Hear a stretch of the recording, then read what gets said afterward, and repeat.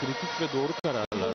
Maçın başında özellikle Caner birkaç faule maruz kaldığını düşündüğü pozisyonlardı bunlar. E, bence hakem orada başarılıydı. Dediğim gibi Volkan'ın pozisyonu ve e, şeyin pozisyonunu atlamış oldu.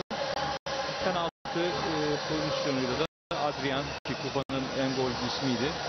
Yine e, geleneği sürdürmüş oldu. Bu kaçıncı golü bilmiyorum housing